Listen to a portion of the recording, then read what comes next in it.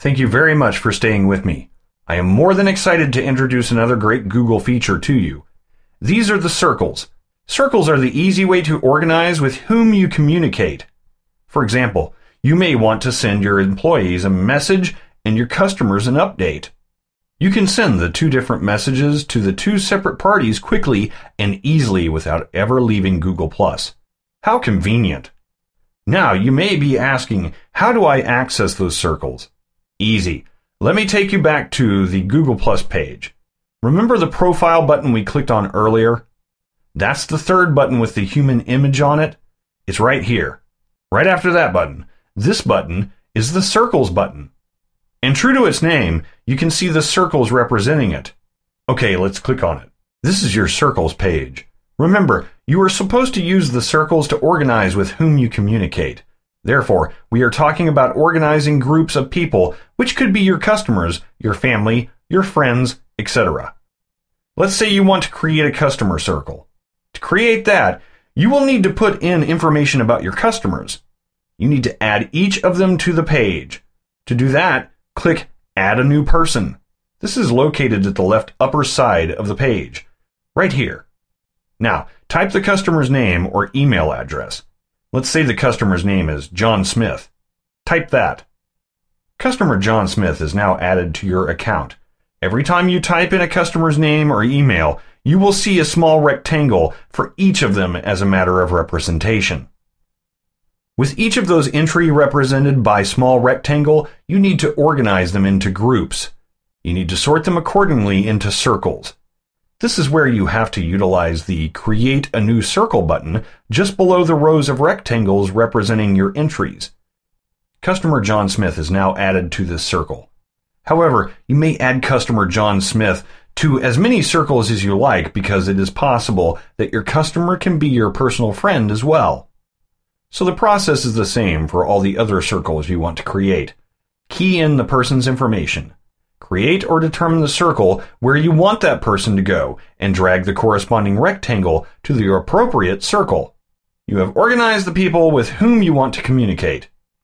While this is a simple process, we cannot undermine the power these circles have in improving your business. Let me discuss that power for you now. Circles are good for your business because they save you time and streamline your communication.